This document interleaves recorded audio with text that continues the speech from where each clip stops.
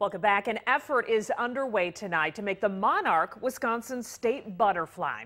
A bipartisan bill in Madison is making its way through the legislature. The idea comes from the Butterfly Gardens in Appleton. The bill is expected to come up for a vote later this month. The pack